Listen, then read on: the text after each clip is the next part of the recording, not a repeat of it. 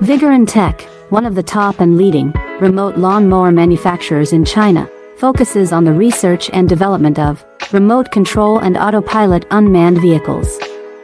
Remote control lawn mower is our current main product, widely used in lawn mowing and weed cutting, suitable for orchard, steep incline, front yard, wasteland, wildfire prevention, terracing and so on. The remotely controlled lawn mower adopts CE and EPA approved gasoline engine, 200 meters long distance remote control, adjustable cutting height, travel speeds up to 6 kilometers per hour. Based on the in-depth understanding of our own products, we can provide the best after-sales service. We are looking for distributors and dealers all over the world. You are always welcome